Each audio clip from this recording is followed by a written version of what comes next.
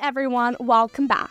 And in today's video, I'll be showing you how you can cancel your Surfshark subscription and get yourself a full refund. I'll also be giving you a couple of VPN recommendations in case you are looking for certain features that Surfshark doesn't have, so stay tuned. And without further ado, let's get started. Also, if at any point in this video you'd like to check out any of the VPNs that I mentioned today, You'll find all the useful links, including discounts, in the description down below. Now, the cancellation process is pretty simple. All you have to do is go to the Surfshark official website, scroll all the way down and click on chat with us. Then you're going to need to input your credentials and then type in a message to start the chat. I'm not going to send anything since it would instantly connect me to a support employee and I do not want to waste their time.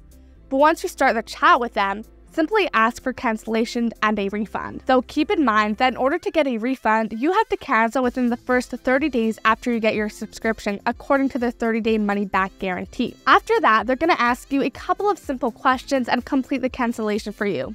And that's pretty much it. Now, even though Surfshark is a great service and the best budget friendly option on the market, it might not be for everyone. So, if you're looking for certain features or protocols that Surfshark doesn't offer, I have a couple of great alternatives that are worth checking out. First up, we have ExpressVPN, which is overall the best pick as it came first in most major categories, like speed, security, and privacy during my tests. Now, in terms of reliability, ExpressVPN has proven its commitment to protecting user data several times by conducting many audits over the years, on top of going through a real life stress test where the Turkish government seize one of its servers in an ongoing investigation, only to find nothing that can be linked to any specific user. Now, other than that, ExpressVPN has over 3,000 servers in 94 countries, allowing you to access almost any content from all around the world. But what's so impressive about these servers is their consistency and reliability.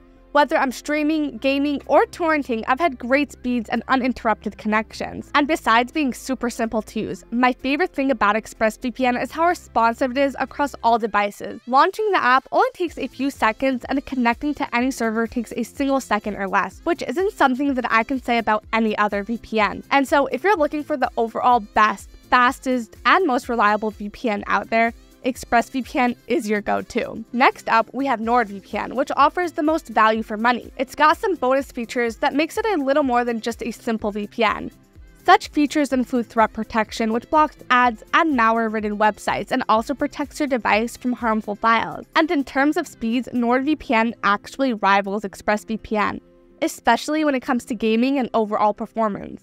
Although it's got over 5,400 servers in 60 countries, so 34 less countries, which means access to less content than Express, but more servers will mean that the user base is more widely spread across the servers, so basically more room for everyone to use. And another thing I really liked about NordVPN is its intuitive user interface, which has a huge map of all of its servers, allowing you to pick and choose the closest server to you with a couple of clicks. And when it comes to device limits, NordVPN allows you to protect up to six devices with one subscription, as opposed to the 5 device limit of ExpressVPN. And so if you're looking for the best value VPN, Nord offers a few more useful features, an intuitive user interface, and great overall performance. And that's it for today's video. Again, if you're interested in any of these VPNs, you'll find all the useful links, including discounts, in the description down below. And feel free to comment below if you have any questions, as I love getting to interact with you guys. And like and subscribe if you found this video to be helpful or would like to stay up to date with future videos. Thank you so much for watching, and I'll see you in the next next one.